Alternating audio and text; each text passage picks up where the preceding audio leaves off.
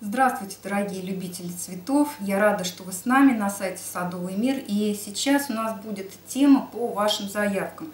Очень многие просили рассказать, как бороться с почвенными комариками, с почвенными мушками, по-разному их называют. Очень часто они появляются и в комнатных цветах, и на рассаде. И вот когда они возникают на рассаде, конечно, это вызывает беспокойство, потому что думают, что сейчас э, эти растения все погибнут а от этих почвенных мушек мушек. И э, часто еще видят э, каких-то комариков и э, вот личинок прямо на почве, червячки какие-то белые. А вот, дорогие друзья, все эти проблемы возникают от неправильного полива. А, а именно вы переливаете свои растения, почва постоянно влажная. Вот, конечно, когда-то я не избежала этой проблемы, и у меня все эти мушки были, потому что вот э, когда я только-только начинала этим заниматься, в школе еще, в институте, мне всегда казалось, что я мало внимания уделяю своим растениям, а вдруг я забуду, а вдруг им не хватит влаги. И мне все время их хотелось полить. И вот из-за этого перелива и они и появлялись. А, потому что э, личинки, они способны жить только во влажной почве. Если только почва пересыхает, вот эти личинки буквально гибнут в течение нескольких часов.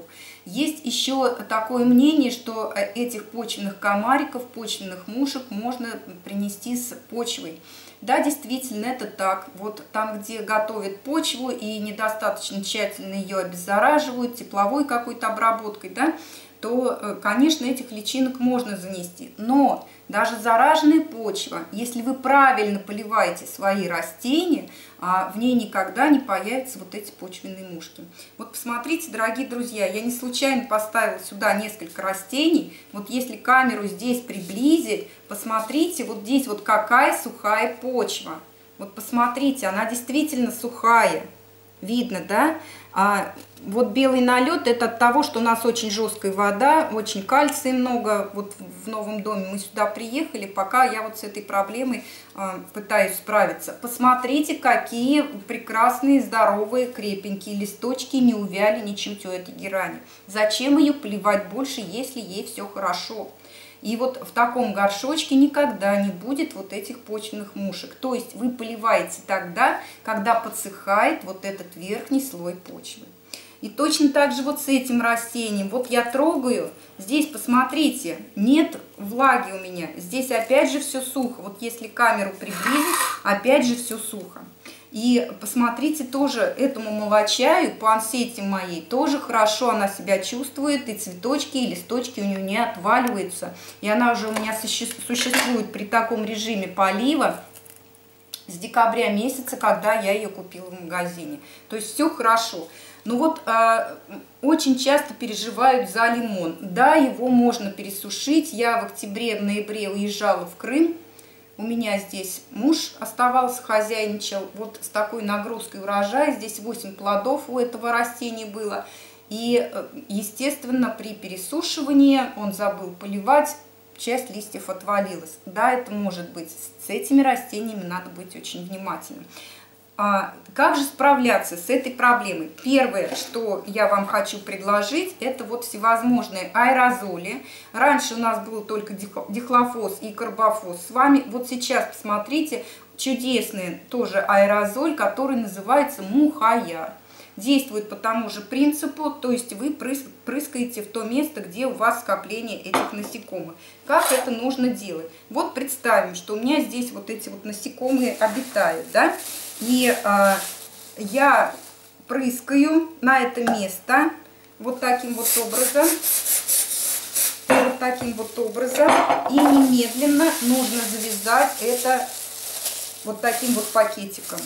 Все, завязали, затянули, и у вас это все стоит. Будьте уверены, вот и взрослые насекомые погибнут, и те, которые личинки на поверхности, они тоже будут уничтожены.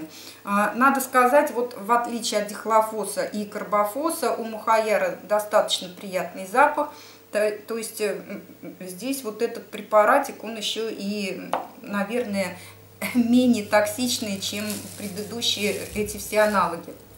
Вот. Теперь, на что я хочу обратить внимание еще. Вот под этим долго можно держать, то есть несколько часов. Я просто сейчас вам в ролике на что еще хочу обратить внимание. Посмотрите, у меня замульчирована здесь вот поверхность. Это в данном случае мох. Можно использовать любой материал, который у вас есть под рукой, который вы сейчас можете купить в магазине. Кстати, и мох сейчас тоже продается. Чем хорош мох и почему вот мульча нужна? А вот эти почвенные мушки, почвенные комарики, а правильно, они называются сцариды и подуры, или подуры, не знаю, как правильно ударение, вот, а, они э, способны откладывать яйца только в почву. Вот в этот сухой субстрат, а он действительно, этот мох быстро пересыхает на поверхности, в сухой они отложить не могут, потому что они понимают, что в сухом субстрате их личинки просто-напросто погибнут. Да? Поэтому вот здесь вот такой мульчирующий слой очень-очень-очень хорошо помогает. И совершенно простое средство. Вот я вам показываю вермикулит. Есть сейчас в магазине прекрасный препарат, и его можно вносить тоже как мульчирующий слой. Как мы с вами делаем? Вот, допустим, давайте замульчируем вот эту вот розочку нашу. Вот, мы подсыпаем туда засыпаем всю почву достаточно тол толстым слоем, да, чтобы почвы не было.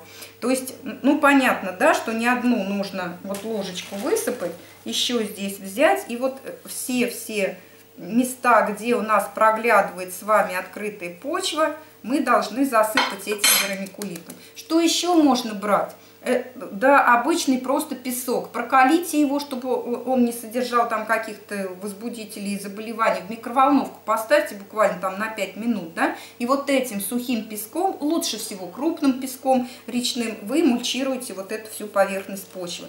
Здесь тоже также можно покрыть вот эту всю поверхность. Теперь, очень хороший способ, который мне давно-давно рассказали. Так, сейчас мы с вами накроем это крышечкой.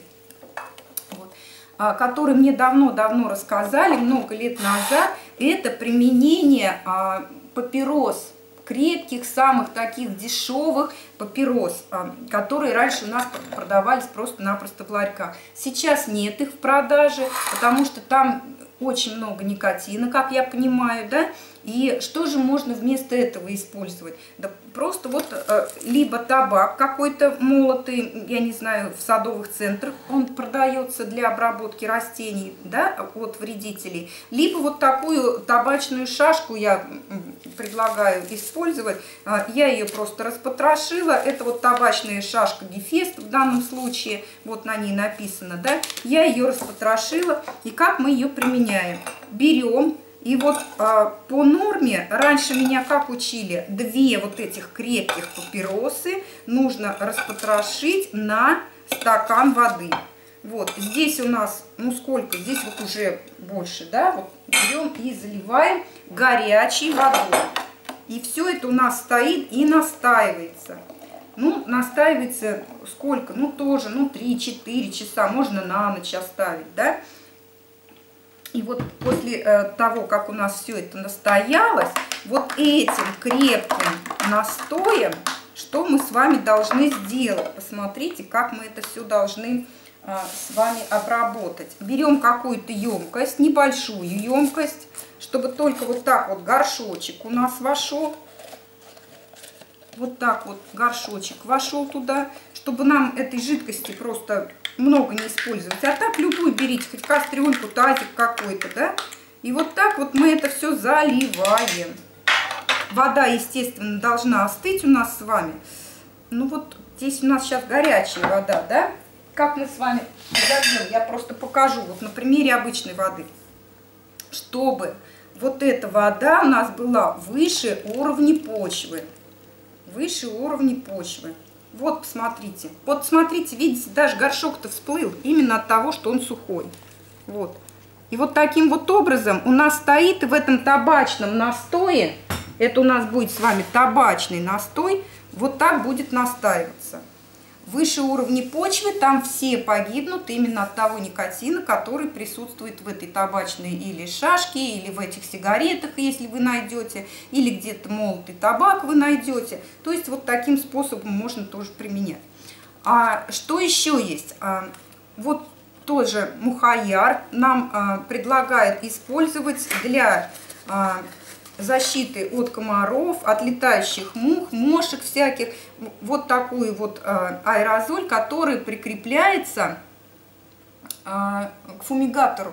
Да, есть такие фумигаторы, вы снизу крепите вот такой вот флакончик, он равномерно у вас там распыляется как-то и получается очень хорошее действие. Так вот, оказывается, если растение ваше близко поставить к этому фумигатору, то и эти быстренько-быстренько все погибнут. Все подуры, все сциариды, все быстренько погибнут. Можно еще зажигать э, спиральки, которые предназначены для защиты от комаров скажем, в открытом грунте, мы с вами в беседочке где-то сидим, включили эту вот спиральку, и она у нас горит. Можно обычную поджечь пластинку от комаров. Подожгли, куда-то вышли из этой комнаты, чтобы самим не дышать, да, и тоже, опять же, вот они погибли. Ну, вот такая вот, смотрите, надолго хватает, да, к фумигатору подключил, можно уйти на работу, и преспокойно работает, и убивает всех ваших нежелательных насекомых.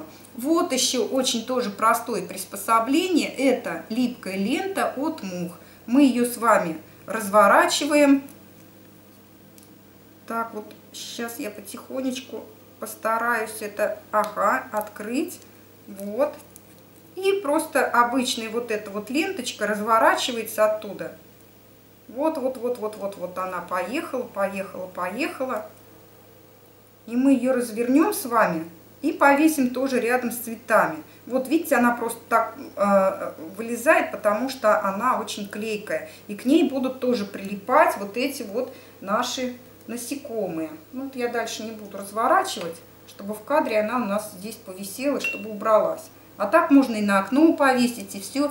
Чем вы больше тревожите свои растения, тем больше летают эти насекомые и прилипают на а, вот эти ленты. Вот еще специализированные клеевые ловушки, которые от белокрылки используются. Вот я уже давно ее повесила здесь. Видите, кто-то на нее налип вот здесь вот, да, а, а она до сих пор остается липкой. Вот эти желтые клеевые ловушки, они продаются большими пластами.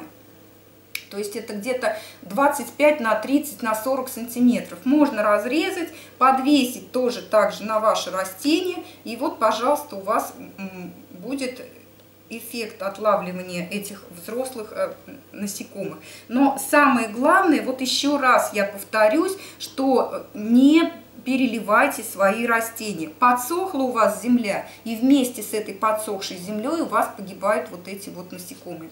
А, естественно, с рассадой очень вот такой момент пересушить страшно, да, потому что они у нас в маленьких кассетах, в маленькой плошечке, там объем земли очень небольшой, и страшно пересушить.